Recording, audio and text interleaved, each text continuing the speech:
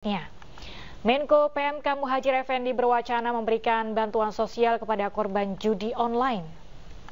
Ya, namun wacana tersebut menuai banyak respon pemirsa dari masyarakat.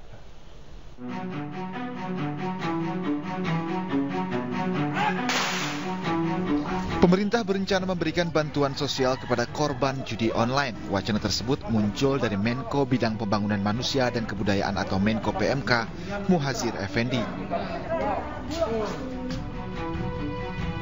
Namun, wacana tersebut mendapat respon dari sejumlah pihak, salah satunya dari pengamat kebijakan publik Trubus Rahadiansyah.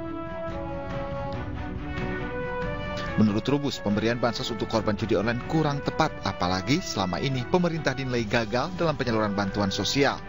Namun Menko PMK Muhajir Effendi menjelaskan bantuan sosial itu bukan untuk pelaku judi online, namun keluarga yang menjadi korban.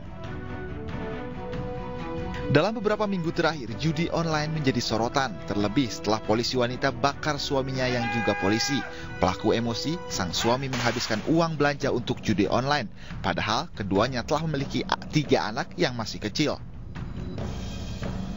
Presiden Jokowi juga membentuk Satgas Judi Online. Adapun Satgas yang diketuai Menko Polhukam Hadi Cahyanto itu salah satunya untuk mengoptimalkan pencegahan dan penegakan hukum perjudian daring secara efektif dan efisien.